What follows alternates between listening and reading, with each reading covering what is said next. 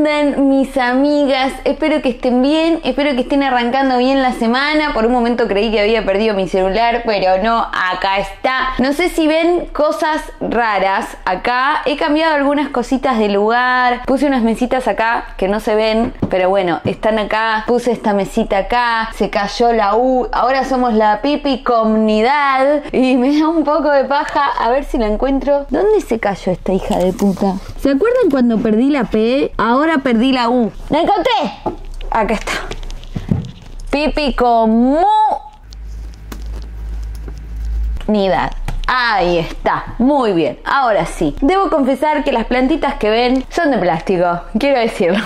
Porque después siento que las engaño, ¿entendés? Quiero decir, las de plástico, no aguanto. Soy demasiado sincera. Porque yo intenté tener plantas naturales acá, pero como esto es un latillo, ¿verdad? Se mueren, porque no reciben luz natural, ni aire, o como que es una paja, se recontra mueren. Y me gusta cómo quedan en los videos. Entonces puse de plástico, soy una trucha, ya sé. Dígame si me bancan en esta o no. Pero tampoco es cuestión de estar asesinando plantas para grabar dos, tres videos. Una planta rinde dos, tres videos. No, mi amor, no me sirve. Entonces puse de plástico, pero fijamos que son naturales. Yo algún día voy a hacer como que las riego y esas boludeces, ¿vieron? Bueno, en fin, amigas, vamos a lo que nos compete, pete, pete, pete. La onda es que se suscriban, activen la campana y toda esa verga, ¿ok? No hace falta que lo explique. Agradezco enormemente a las que lo hacen. Estamos a nada de llegar a 70.000 suscriptoras, así que no lo puedo creer. Estoy realmente muy feliz. Ustedes saben lo que para mí significa llegar a 100.000 suscriptores en YouTube. O sea, es algo como que... ¡No! Me caigo de harto si me mandan esa placa. Te mando una placa de YouTube. Mili, pon una fotito de la placa por acá, por algún lado. Cuando llegas a 100.000 suscriptores, YouTube te manda tipo una super placa. Como que es algo regroso llegar a 100.000 suscriptores. No es tan fácil como por ahí. Bueno, en ningún lado es fácil, la verdad. Pero por ahí en otras redes, social, redes sociales, por ahí es un poco más fácil. Bueno, no sé. Pero bueno, para mí es muy importante llegar a 100.000 acá. Y estamos a nada, nada, nada, nadita de 70.000. Lo cual nos acerca muchísimo a nuestro objetivo. Y yo me cago. O sea, el día que llegue a 100.000 y José YouTube me mande la plaquita, yo diarreica de una. Música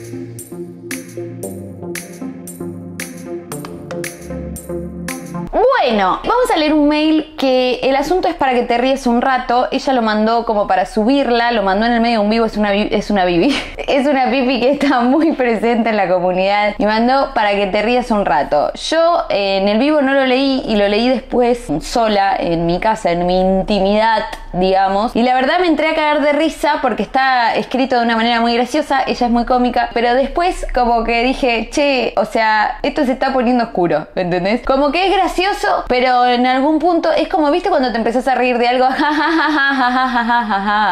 oh, y empezás como a espantarte. Bueno, me pasó eso con este mail, como que fue muy gracioso en un momento y en otro momento dejó de ser gracioso absolutamente y empecé como a entrar en una peli de terror, podríamos decir. Yo lo voy a compartir con ustedes, ustedes me dirán hasta qué momento es gracioso o por ahí no les resulta gracioso en ningún momento porque ya les estoy avisando, entonces ya las condiciono, pero pónganse en mi lugar porque me dijo, para que te rías un rato. Arranqué con una predisposición, dije, bueno, estoy yendo a ver el stand-up de Adam Sandler, ¿entendés? Tipo, arranqué con una predisposición a la risa tremendo y después empecé a decir, che, esto no es gracioso, ¿entendés? Bueno, voy a dejar de hacer preámbulos y voy a comenzar a leer porque ya 80 minutos de este video. Hola Pipis, dice, vi un video de Fraca Mejor Amiga y me acordé de una anécdota de hace 8 años atrás. Tengo 24. Mi mejor amiga en ese entonces, la llamaremos Victoria, chongueaba con dos pibes. Uno era Enzo, el pelotudo que ella quería, y Lolo, otro que tenía de boludo porque estaba re enamorado. Resulta que salíamos todos los fines al boliche, vivíamos cerca y nos íbamos caminando. Dentro del boliche estábamos con alguna amiga y a la salida nos hacíamos el aguante con cada uno de nuestros chongos. Yo tenía uno fijo para el boliche y los otros eran para la tarde u otros momentos. Esto a mí me causó mucha gracia porque eran súper pendejas y como que esta cosa así tan de chongo va, chongo viene, que esto, que lo otro, como que dije, ¡ay, qué divinas! Banken. Un fin de anterior al día del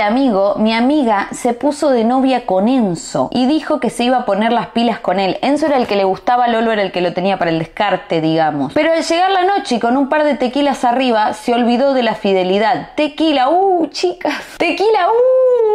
Uh, tequila, ¿hace cuánto que no tomo tequila? Tequila era un montón. Tequila, nosotras con mis amigas comprábamos en el chino, Sol Azteca se llamaba ese tequila. Una mierda era, te hacía un agujero en el estómago, pero tequila, ¡ah! Tequila es mucho. En el boliche nos encontramos con Lolo y como todo boludo enamorado, nos compraba todo lo que queríamos. O sea, ella estando de novia con Enzo, se le hacía de Sugar Daddy a Lolo. No, de Sugar Baby a Lolo, digamos. A la salida, mi amiga iba a ir a la casa de Enzo, que la estaba esperando. Y mientras tanto, él hacía tiempo jugando a la Play. Pobre Enzo, chicas. Pobre Enzo, se quedó ahí jugando al PlayStation esperando a la novia que saliera del boliche, mi amor. Y la novia en el boliche pelándole la billetera al otro. Lolo se ofreció a acompañarnos. Yo también iba a ir a la casa de Enzo a esperar mi taxi. Cuando estaba saliendo, una chica nos cruzó y dijo que Enzo le estaba mandando mensajes hace rato y que la estaba invitando a la casa. Cuestión que se armó tremendo bardo. Mi amiga quería pegarle y con Lolo la sacamos de ahí. No, no, esto es una novela, banquen, banquen porque me voy acordando cada vez más cosas. Lo había leído hace unos días este mail y no la tenía tan fresca la data. No van a poder creer toda esta historia real. O sea, igual eh, se les va a ir la risa por un momento. Ella no le dijo nada a Enzo, él seguía escribiéndole, ellos estaban las 24 horas del día hablando. Cuestión que me dice, acompáñeme a la costa del río. Ahí van todos a coger. Dice, yo no sé de qué costa, de qué río me habla, si es Argentina, si es Uruguay, qué provincia, si es Argentina, no sé. No sé de qué costa del río me habla, si alguien lo sabe me lo pone en los comentarios, gracias. Pero parece que a la costa del río van todos a ponerla, digamos, ¿no? Dice, fuimos con Lolo, ella me dejó su celular para que siga respondiendo los mensajes de Enzo, haciéndome pasar por ella. O sea, ella se fue con el chabón y te dejó a cargo los mensajes del novio para que vos escribas como si fueras ella para entretenerlo mientras ella... Mmm, uff, esto es mucho, chicas. Ella se fue atrás de un árbol con Lolo y yo me quedé sentada en un tronquito respondiendo mensajes de Enzo y de mi chongo porque se suponía que nos íbamos a ver. La amo ella a dos manos con dos celulares. De golpe tenía un call center la amiga, pobrecita.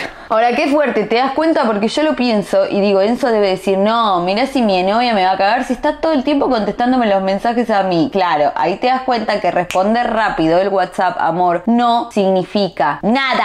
Pasó una hora y aparecieron los recién cogidos, dice. Yo fresca como una lechuga, sin alegría en mi casita. La puse al tanto de los mensajes que le había enviado al chongo y nos fuimos a su casa. Lolo se fue a la suya, feliz y contento porque mojó la chaucha. Cuando llegamos a lo de Enzo, él estaba que escupía leche por los ojos y se fueron directo al cuarto. Que aguante tu amiga Gordy, como que salió de uno, o sea, salió a cogerse a uno y se fue a coger al otro. ¿Quién pudiera? Nunca en mi vida jamás pude hacer eso. Como que mi concha necesita un tiempo de rehabilitación, ¿verdad?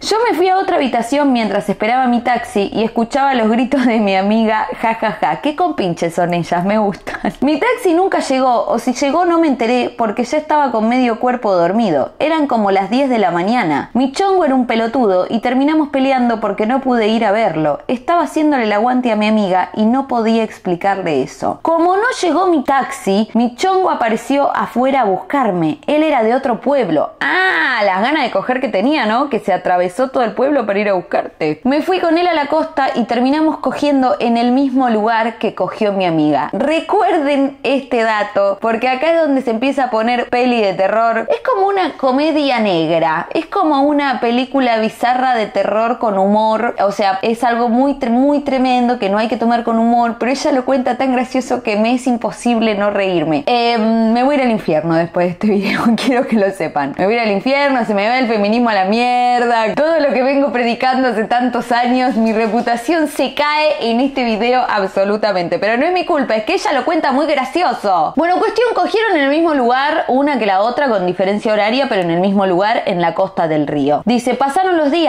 tres días, jajaja. Ja, ja. Y yo conocí a un nuevo amigo de mi hermano, quien hoy es mi novio desde ese momento. Presten atención a esta data. Ella ahora está de novia con el amigo del hermano que conoció en ese momento. Desde ese momento se pusieron de novios y hasta ahora están, hace un montón de tiempo, ocho años. Lo vi en mi casa y ese fin de día del amigo me lo crucé en el boliche. Esta vez era yo la que iba a coger con dos, dice. Así que aplicamos la misma técnica. Ah, hicieron cambios. Ellas son mejores amigas del mundo, te digo. Primero me fui con mi chongo en el auto de un amigo de él a la costa y cogimos ahí. Mi amiga le mandaba mensajes al amigo de mi hermano desde mi celular, o sea, haciéndose pasar por vos. Después nos encontramos otra vez con mi amiga en la puerta del boliche y apareció el amigo de mi hermano quien se ofreció a llevarme a mi casa. Uf, chicas, qué conchas rendidoras tienen, como en serio.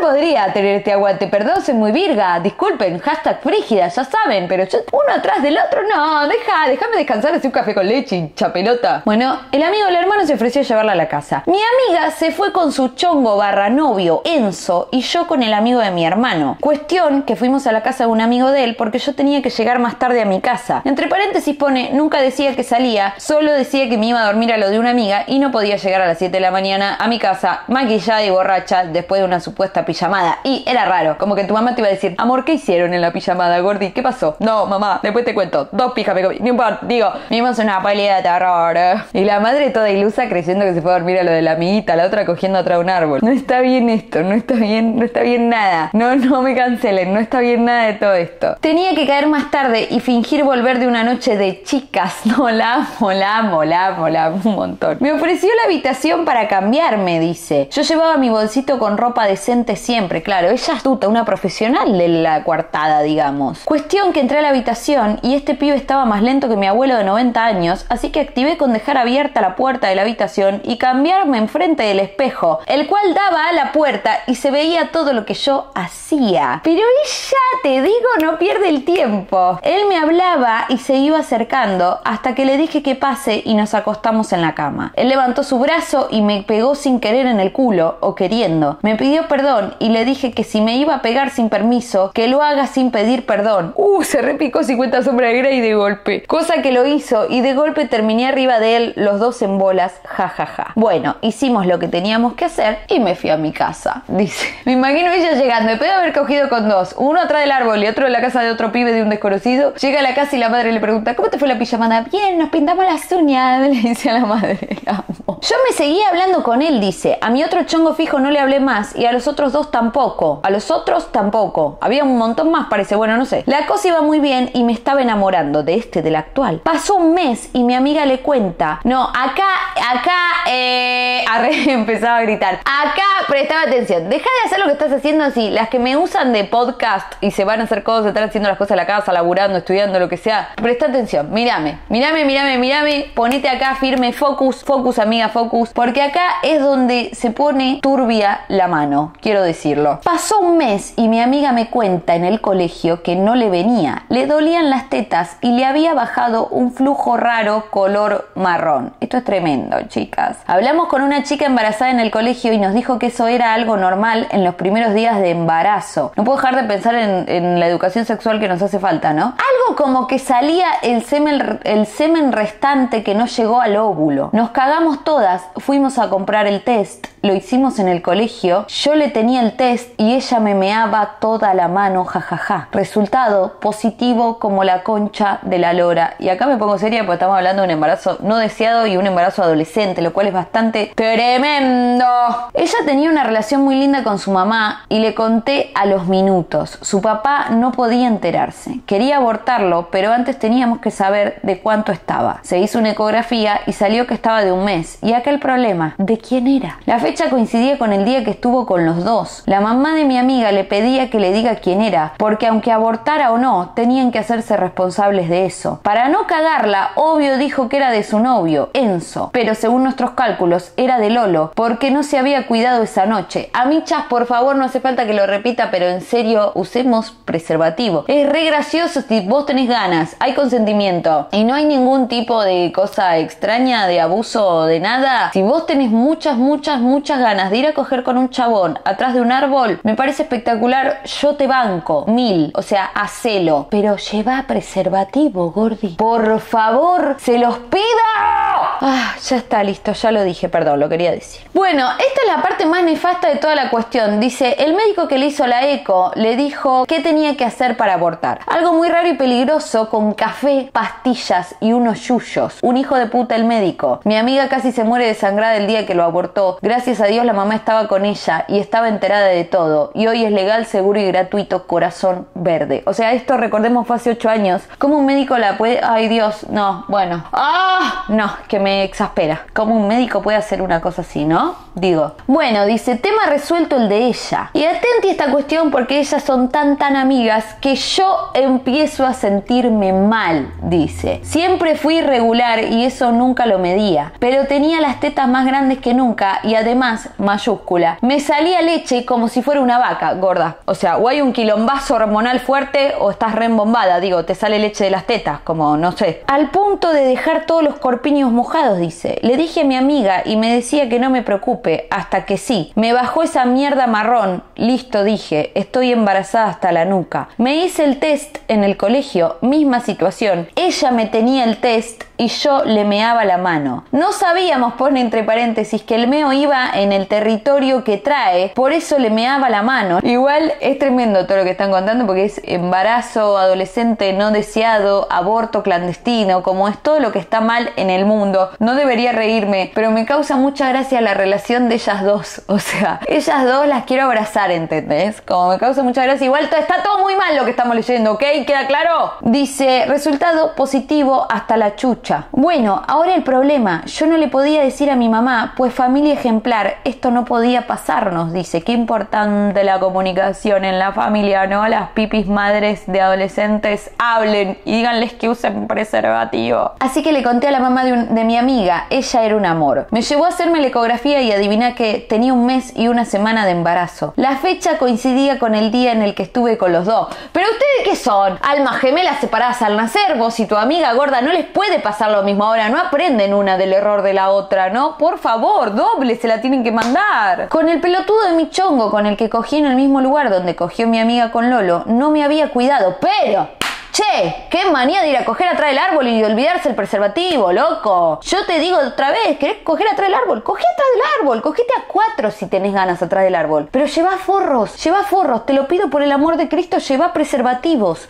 profilácticos, condones. Bueno, en el mismo lugar. No me había cuidado, le escribí y el muy pendejo me dijo que él sí se había cuidado y me bloqueó. ¿Cómo él se había? No entiendo. O sea, él se puso preservativo, no entiendo. Mi amigo lo buscó y también le dijo que se haga cargo. Él le dijo que no podía porque estaba de novio con otra piba y también lo mandó a cagar. Nos bloqueó y yo quedé hecha mierda. Estaba desesperada, dice. Me animé y le conté al amigo de mi hermano. Solo le mandé la foto del test positivo y antes de decirle la verdad, él me dijo que no me preocupe, que lo íbamos a solucionar. Estamos hablando de su novio actual. ¿Recuerdan que el amigo del hermano es el novio actual? No le pude decir que era de otro.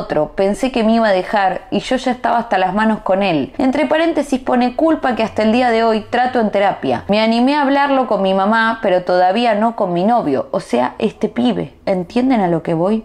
Consiguió las pastillas, abortamos juntos. Yo sufrí mucho esa noche, no me lo olvido más. Él me acompañó en todo momento y me trató como una reina. Desde ese día nunca nos separamos y recordamos eso como una unión. En fin, con mi amiga pensamos que ese lugar donde cogimos estaba endemoniado y fuimos después de esto a tirar sal. Así nos dijeron que hagamos por las dudas, yo las amo. Paren, es tremendo todo lo anterior, pero no puedo no reírme con las dos taradas yendo a tirar sal al árbol. Las amo con todo el corazón. Dice, encontramos una, cuando fueron a tirar la sal, encontramos una bolsa con un papel con el nombre de una chica, que no lo digo nunca por las dudas, y dos anillos dorados. Alto gualicho, boluda, ¿qué onda? La piba que le dijo eso a mi amiga, después nos enteramos que era mentira, y a mi amiga le vino al pelo para cagar al novio. ¿Qué cosa le dijo? Ah, cuando estaban saliendo el boliche, al principio toda la anécdota que le dijo que el novio le estaba escribiendo para verse y ella por eso me cansa se fue a coger a Lolo atrás del árbol, ok. Nos acordamos de esto, nos reímos y lloramos juntas. Ojalá me leas y te rías como yo. Yo te amo y las amo. Gracias por llegar a mi vida. Son todo lo que está bien. A mí, cha, o sea, de verdad me divertí mucho leyéndolo, pero la parte del aborto es tremenda. O sea, quiero decirlo, esa parte es tremenda. Gracias que es legal, seguro y gratuito. Gracias a la lucha de las feministas, por favor. Es tremenda la parte del aborto real. Todo lo demás es muy gracioso y vos sos muy graciosa para contar todo esto. Llegó Belita, me parece. Amor, estoy flasheando. Amor, Gordi.